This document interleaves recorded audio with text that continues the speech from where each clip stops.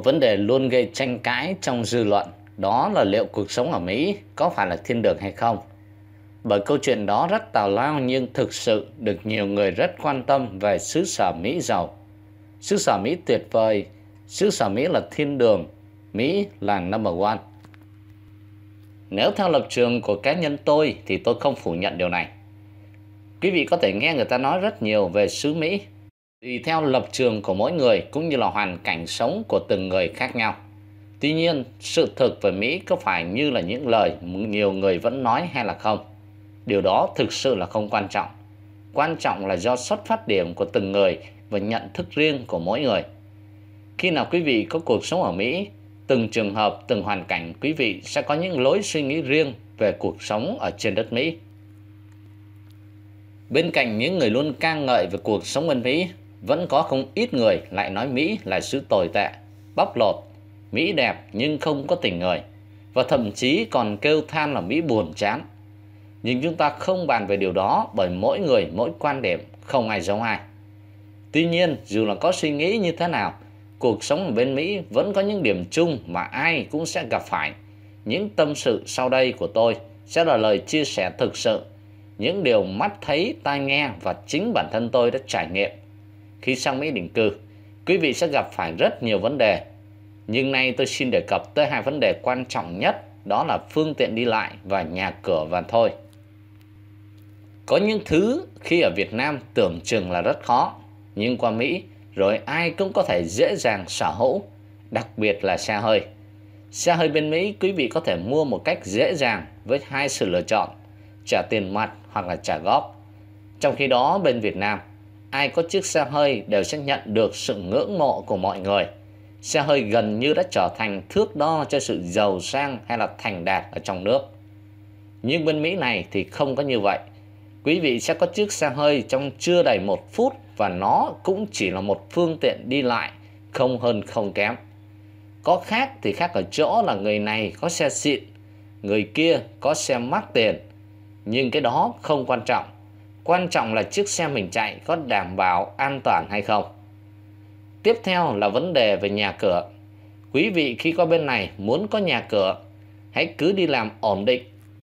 Trong vòng từ 1 hoặc là 2-3 năm, có tích góp khoảng từ 3 đến 40 ngàn mua một căn nhà trả khoảng vài trăm ngàn rồi trả tiền gốc lãi trong vòng 30 năm. Giả sử như thời điểm mua một căn nhà khoảng 500 ngàn qua một vài năm, số tiền có thể tăng lên chừng là 700, 800 ngàn, đó là chuyện bình thường. Tuy nhiên, tôi tin rằng nếu quý vị chăm chỉ làm ăn và biết chi tiêu cân đối, thì việc mua nhà hoàn toàn không phải điều gì đó quá xa vời khi sống ở đất Mỹ này. Chia sẻ về hai điều này bởi vì lẽ nó là điều thiết yếu cho cuộc sống của mỗi người khi mà định cư tại Mỹ, cũng như là mỗi người sống ở Việt Nam Điều quan trọng ở Việt Nam là quý vị phải có một chiếc xe gắn máy là phương tiện đi lại. Và nếu chứ quý vị không có ở nhà cửa thì quý vị vẫn phải ra nhà trọ hoặc là quý vị sống với cha mẹ quý vị mà thôi. Ở đâu thì cũng vậy, nếu quý vị chăm chỉ làm ăn, biết tính toán về lâu về dài thì cuộc sống sung túc ở bên Mỹ sẽ không khó để mà trở thành hiện thực. Còn với suy nghĩ ảo tưởng tiền từ trên trời rơi xuống qua đến Mỹ chỉ việc chơi và ăn và có tiền xài, đó là chuyện hoang đường.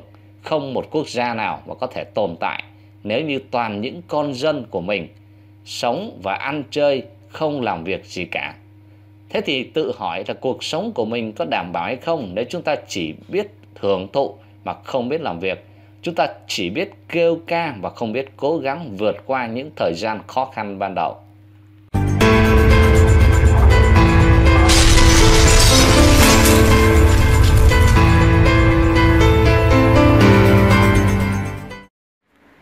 Tôi cảm ơn Thượng Đế, cảm ơn mọi người đã yêu thương và quý mến để đồng hành cùng tôi trong đoạn đường khó khăn. Chống lại sự gian tham tiền từ thiện và lợi dụng quyền lực báo chí để mà bịt miệng, ức hiếp người ngay lành. Bà Angie, tên Việt Nam là Phạm Thanh Nga, đã chia sẻ về việc bà thắng kiện một người gốc Việt khác, đó là bà Thanh Hà Bùi, còn gọi là Tana Thái Hà. Số tiền là 545 625 ngàn đô la Mỹ. Vụ thắng kiện mà lệnh vu khống dựa trên phán quyết của Bộ Thẩm đoàn và ký xác nhận của tránh án Tòa thượng thẩm hạt Santa Clara thuộc tiểu bang California. Theo hồ sơ của tòa án thì vụ kiện được nộp cho tòa vào tháng 9 2015 và ra tòa vào ngày 7 tháng Giêng 2019. Bà Nga là nguyên đơn trong vụ kiện kép vì mạ lị vu khống về số 20151 CV 285674 và vụ số 16 CV 295150 do tránh án Kerry chủ tọa. Đại diện bà Nga đó là luật sư Mitchell thuộc tổ hợp luật sư Rausnan bị đơn Thanh Hà Bùi tức là Chana Thái Hà hay là Thái Hà có hai luật sư đại diện đó là luật sư Weiner và luật sư Ryan thuộc tổ hợp luật sư Ryan Turner. Ngoài ra, phía bị đơn còn có Việt Tribal Mayor, Vi Trương hay là Vivian Chaiza Trương Gia Vi. Theo bà Nghe cho biết thì vụ xử kéo dài gần 3 tuần. Kết quả bồi thẩm đoàn kết luận là những lời cáo buộc với ác ý của bị đơn Chana Thái Hà với nguyên đơn Phạm Thanh Nga là không đúng sự thật và bị đơn phải bồi thường là 545.625 đô la Mỹ thiệt hại cho bà Nga. Bà Nga kể lại vào ngày 13 tháng 12 năm 2014, tôi và Thái Hà cùng nhau làm việc trong ban tổ chức của cuộc gây quỹ từ thiện cho hai hội Việt Museum, viết tắt là IRCC và VAUSA, Hội Quân nhân Mỹ gốc Việt ở Napa, California. Kết quả gây quỹ do người làm sổ sách báo cáo sau khi trừ chi phí đó là 76.000 đô la Mỹ. Bà nghe cho biết ban tổ chức trên nguyên tắc đồng ý số tiền gây quỹ, sau khi trừ chi phí sẽ chia đồng đều cho mỗi hội một nửa. Còn nếu lỗ, bà Nga sẽ trả cho tất cả số tiền thiếu hụt. Nguyên tắc chia 50-50 nhưng bà Nga thắc mắc là sao hội VAUSA chỉ được chia là 16.500 đô la Mỹ, trong khi hội IRCC được là 40.000 đô la Mỹ. Cả hai cộng lại mới chỉ là 56.500 đô la Mỹ. Đó là chưa kể tiền đấu giá chiếc nhẫn được là 6.000 đô la Mỹ và hai bức tranh, nhưng số tiền sai biệt đi đâu? Theo lời của bà Nga thì Thái Hà đã cùng với ông Vũ Văn Lộc đại diện cho IRCC đổi hai món quà tặng đấu giá gây quỹ cho hai hội này thành hàng gửi bán trị giá là 7.500 đô la Mỹ và họ tự ý hoàn trả lại cho bạn bè là 2.275 đô la Mỹ từ một số vé bán trong đêm gây quỹ mà không được sự đồng ý của ban tổ chức. Sau đó, cũng theo lời của bà Nga, ngày 27 tháng 12, 2014, bà đã viết thư phản đối hành động tự ý sử dụng tiền gây quỹ sai mục đích như vừa nêu của Thái Hà và cũng yêu cầu IRCC để cho CPA của chính họ vào xem lại sổ sách chi thu, rồi công bố kết quả ra công chúng, nhưng họ đã tự ý làm theo ý của họ. Bà Nga khẳng định rằng tôi còn nhớ là vào ngày 19 tháng Giêng năm 2015, Thái Hà viết thư cảnh cáo cũng như là gọi điện thoại nói với tôi, khuyên tôi là nên im lặng và hứa sẽ làm cho tôi biến mất khỏi San Jose. Sau đó Thái Hà còn lên chiến dịch mạ lị vu khống có ác ý về cá nhân tôi trên các trang mạng xã hội. Trước và sau khi phiên tòa diễn ra, Thái Hà đã dùng chiến thuật đánh phủ đầu, tung tin ráo riết rằng tôi, Phạm Thanh Nga, đã thua kiện, gây khó khăn vì nhiều người tưởng thật. Trong khi bà ấy mới thực là người phải bồi thường cho tôi, bà nghe cho biết thêm. Đến nay sau gần 5 năm, ông Vũ Văn Lộc và Chana Thái Hà vẫn chưa công bố sổ chi thu trong buổi gây quỹ tại Napa vào năm 2014, dù những nhà tài trợ và hội VAUSA đã gửi thư yêu cầu.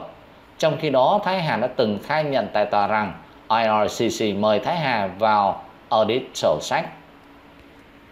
Bà Thái Hà chia sẻ là tôi phải sống trong sợ hãi bởi những lời ham dạ và nhục mạ trong suốt 4 năm, tưởng khó có thể đi đến ngày ra tòa, nhưng tôi đã cố gắng vì không phải cho riêng tôi nhưng cho cả gia đình tôi và những nạn nhân khác. Tôi mong tệ nạn lập bè tung thư nặc danh để mà mạ lị vu khống bịt miệng được chấm dứt. Tiền gây quỹ cho từ thiện phải được minh bạch, không vì lợi ích cá nhân của những kẻ tham ô, tự tung tự tác, xin đừng tạo cơ hội và điều kiện cho họ.